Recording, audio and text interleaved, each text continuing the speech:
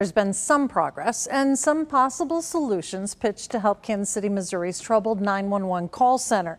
KMBC's Andy Alcock is getting answers about what could be next. It is obvious that there's more work that needs to be done. Kansas City Mayor Quinton Lucas had that response after listening to consultant Dean Hart summarize a Jackson County 911 study at the Board of Police Commissioners meeting. Hart said part of the problem is nearly half the calls are non emergency.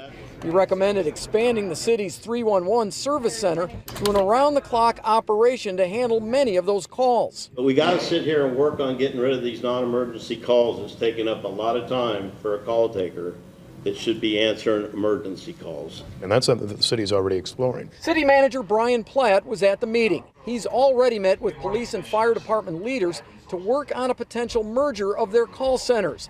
Mayor Lucas favors building a new and larger call center.